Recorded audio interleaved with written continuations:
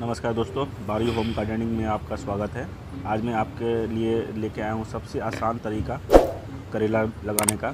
जो करेला के बीज को आप आसानी से आप उगा सकते हैं। बहुत सारे लोग कहते हैं कि करेला के बीज अगर दस लगाओ, उसमें तो दो तीन होते हैं। तो मैं आप सब, सबसे बेस्ट तरीका बता रहा हूँ। करेला को बीज को ट्वेंटी फोर आवर्स के लिए आप इसको पानी में भिगो के डाल दीजिए। उसके बाद आपको उसको अपने पानी से निकाल करके मैं आपको इस वीडियो में प्रोसेस बता रहा हूँ। आपके उस नुकीले पार्ट को अपने नेल कटर से काटना होता है, जिससे क्या होता है, क्योंकि करेला का जो बीज होता है, बहुत ही हार्ड होता है तो मिट्टी में जाने के बाद थोड़ा टाइम लग जाता है पौधा निकलने में। इसके लिए सबसे बेस्ट तरीका है, और मिट्टी को आप अगर है देखिए नेल कटर में लिया है, और उसके जो नुकीला पार्ट है ना, उसको आपको ऊपर से थोड़ा सा कट कर देना है।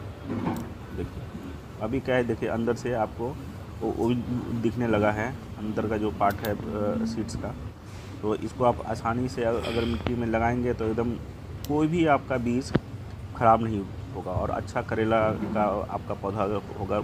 अगर आपका प्लांट सही है तो आपको ज़ाहिर सी बात है कि आपके जो करेला का बेल भी है, वो भी अच्छा होगा और और अच्छे तरह से ग्रोथ आपको दिखेगा। इसको देखिए, और मिट्टी को आपको पूरा हल्का मिट्टी रखना है। देखिए, जैसे मैंने बताया, हल्का मिट्टी आपको बनाना है इसमें।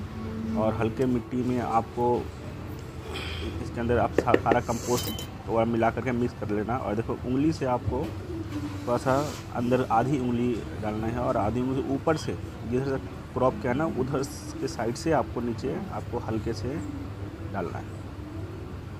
दोस्तों भी ये बहुत इजी तरीका है और आपने घर पे उगा सकते हैं। और करेला अगर आपने तीन चार भी लगा दिया तो चार पाँच लोग फैमिली में है तो आपको कम से कम चार पाँच महीने के लिए करेले ख़रीदने की मार्केट से ज़रूरत नहीं पड़ेगी।